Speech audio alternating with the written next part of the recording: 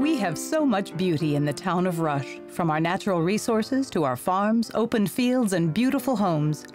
Rush has also had issues which have fallen by the wayside and been neglected. But we have opportunities. How will these be handled?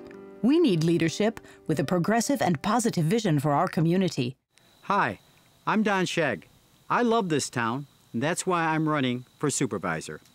We have a positive vision for the town of Rush, but we need your help and your vote to make it a reality. I'm Dave Sluberski. I'm running for Rush Town Council. I've lived here for 30 years and raised a family. We want to make sure that you can afford to live here and your kids can enjoy a vibrant future in the town of Rush.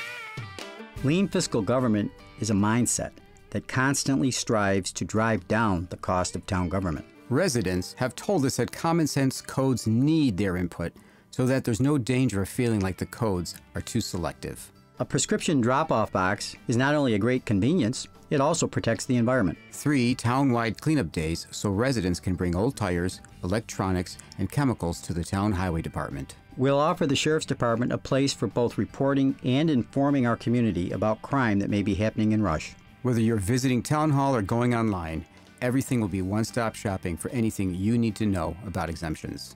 Your vote for Don Scheg and Dave Sluberski on November 3rd will give our town the progressive and positive leadership it deserves.